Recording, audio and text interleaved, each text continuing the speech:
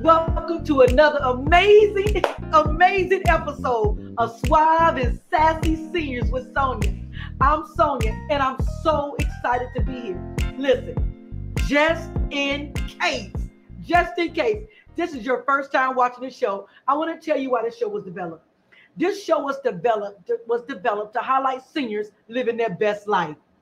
Many people, especially young people, believe as we age or season or marinate, we fade. But that's not true. Many seniors are living their best life. Really, this is when we start doing our own thing and living. I bring to you people that I call our greatest generations, people that are seniors, that are retired, starting new businesses, not retired, writing books, coaching, counseling, doing all sorts of things. So, this is why this show was developed. So, I'm glad you're here. Today, I have a very dear, dear guest. I met my guest today, and she's wearing yellow because she was my sunshine. I met her when I first moved to Florida. And when my grandmother moved in with me, Cheryl Harris has always worked with seniors in Asian populations. And she assisted me with my grandmother when she moved from Michigan to Florida to be with me. She was living with me and then she wanted her own place with one leg. She still wanted to be independent. Cheryl helped my mother, my grandmother, gain her own independence. And for that, she's near to my heart. She's also an amazing woman of God. She's prayed me through some some some journeys in life. So I'm humbled and honored to have Cheryl on my show. And welcome, Cheryl. Thank you so much. Isn't she lovely? Cheryl, you just recently retired. Absolutely. And now, what were you doing? Tell, just tell us a little bit about what your, your journey. A senior activity specialist over senior centers. So my job was to provide services, uh, activities, plan field trips, slight counseling, meaning a listening ear to the seniors, you know, connecting them with referrals, and just trying to encourage them to have a great life as a senior and not just sit dormant or sit home. And so that was pretty much what I was doing, and I enjoyed it. And so you know firsthand how important it is for seniors to be active. It's important yes. for as we age to continue to move and, and not just our physical body, but our mental. It's, yes. a, it's, it's important to connect and be active in your life, living daily and doing things, correct? Absolutely. And to connect with other people. Because some seniors just sit at home, watch TV all day long, eat snack, but they're not moving physically or socially. Mm. So you need to connect. The city of Jacksonville has a wonderful program for seniors 60 and older that are active. It doesn't mean if you have a mobile chair or a walker or a cane, you can't be a part of it. What it simply means is if you go out on a field trip with us, you have to be able to get back to the bus. So if you're 60 or older, you I don't drive. That's okay. We got we have 19 centers around the city of Jacksonville, and all you have to do is call transportation. They can tell you which center is closest to you, and it doesn't cost anything, something. And that's the good thing. That's the good thing. So thank you for that. And thank you for all you've done and dedicated your career to helping seniors. But now, mm-hmm. the other side, you've been married for 35 years. Yes. And you have seven children yes. and 30 grandchildren yes. and five great grandchildren. Yes. And you look good. when whenever my kids have kids, because I don't have any grandchildren, just just putting that out there. Not no pressure, just out there. So when when when I get having grandkids, I, I want to look as good as you. Is that fair enough? That's fair enough. You look good, girl. So I'm sure you I, I hope I keep this. Yes. But listen, being married 35 years, you've been a mentor, you're a mentor to me in my marriage. You've been able to mentor a lot of women. So what you've done is written a book mm-hmm. because a lot of young women don't understand the art of singleness, right? Yes. Correct. So tell us about single ladies get the goods, not the garbage. Talk to talk to us about the goods and not the garbage, because don't nobody want garbage. No. It stinks. And here's the Garbage thing. stinks. Here's the thing.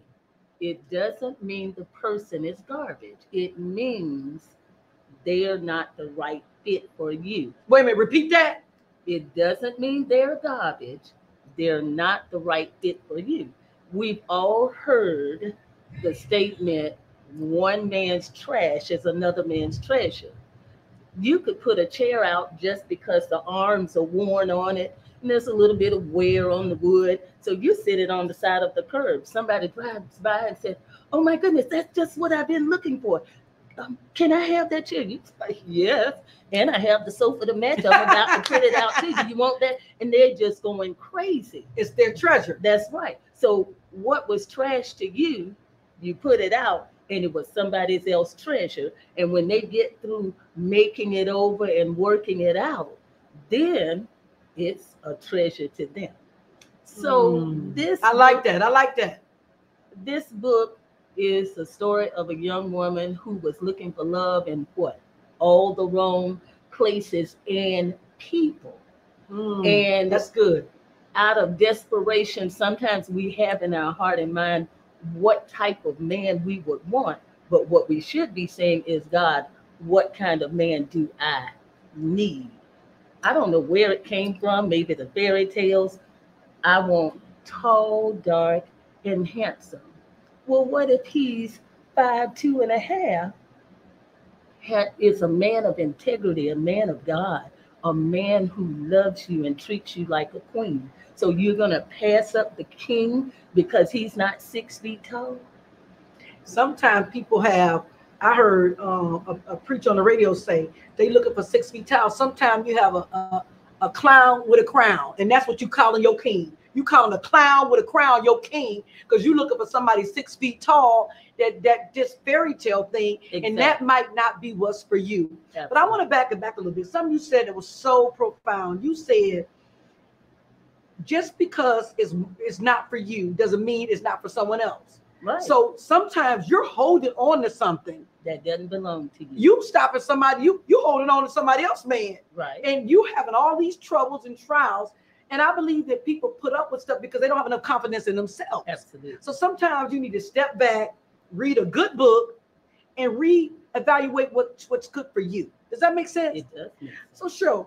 Can you tell us some of the common mistakes that single women make in dating and finding that perfect person for them? First of all, you've got to love yourself. You can't love anybody else if you don't love who you are. Mm-hmm. You have to love yourself. After loving yourself, know your worth. Wow. You gotta, Wow. You gotta, Wow. You gotta know your worth because if you don't think you deserve better, you'll accept anything. You'll allow anything. Uh, one common mistake that I see is young women letting a man move in with them or they're moving in with them and you have your own place, your own freedom, you doing wifely everything that a wife would do, cleaning, cooking, and everything else, but you're not married. Wait a minute, wait a minute, sure. So now you you you you crackling on some stuff right here. Mm-hmm. So you don't think it's good for people to, and I want people to, to comment in the post. Comment. You don't think it's good for people to live together. If you don't think it's good for a woman to live with a man before she's married to him. Because people say, well, I, I don't know somebody till I live with them. So a lot of people feel that if I don't live with him, how will I know if he's the one for me? So what, you know, talk about that.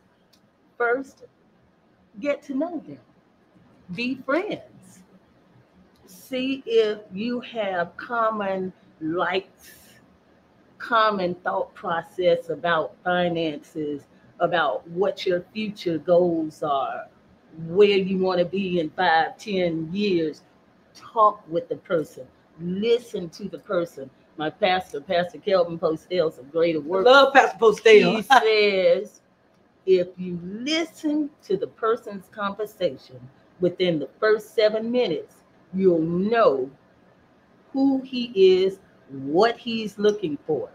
If he's looking for girlfriend material and you want to be a wife, he's not it. Now that's good. That's good. Because some women we have in our mind and we want to be a wife, and this man, he he He's not ready for that. And we invest all this time into it, and it's not. I also heard uh, someone say that as women, don't lay your body down to a man who won't lay his life down for you. Oh, that, that's good. Why? Why you giving up all your goodies if he won't give up nothing for you?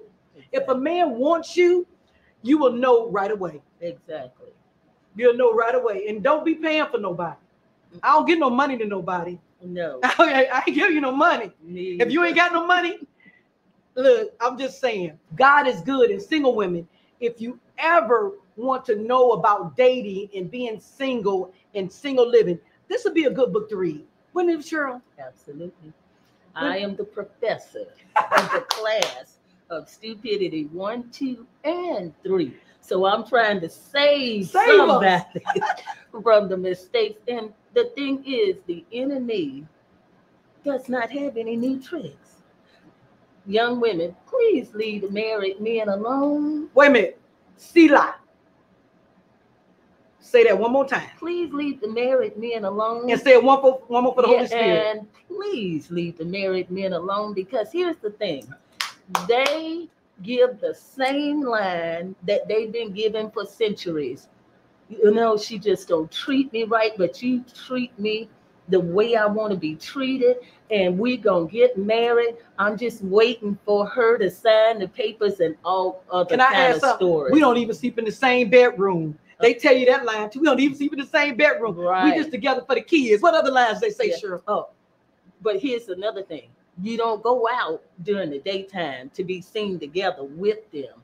You go out at night and then it's some little place in the corner in the booth in the back in the dog. you know, okay, so what's there, there's a problem. Oh, yeah. Oh, don't paste no pictures of us on Facebook. Don't post no pictures of us on any social media, you know, until I get the divorce right. How long you gonna listen to that lie? How, how long are you going to wait for this person to supposedly choose you as wife material? If he's cheating on her, he will cheat on you. Wow. That was a mouthful. Mm-hmm. And that's that's that's a lot. That's personal. Mm-hmm. So are some of these issues addressed in this book, oh, Cheryl? Oh, yes. Wow. Yes. Wow. Is the book available now? It is available for pre-order online. So please pre-order your book now. Mhm. Wow. So people can pre-order now, and the link will be available below if when you want to order the book. Now, Cheryl, every time someone comes on the show, Mhm. we ask them to give us a golden nugget. Mhm. We we want to take something that we can carry away with us and keep. You said some good stuff, talking about uh, the dating the married men and and moving in with shacking and everything. But we want a nugget to carry away. Don't give up on your dreams. Don't settle. Ask God for what you want. Believe it. There is absolutely nothing too hard for God. So keep dreaming. Follow your dreams. And most importantly, keep God first and follow God. Thank you, Cheryl. Listen, pre-order this book. It looks amazing. Single ladies get the goods and not the garbage by Cheryl Harris. The link will be below. Click and subscribe to this YouTube channel and share this this post. Thank you, Cheryl, for being here. And as I always say, stay safe and stay courageous. Bye.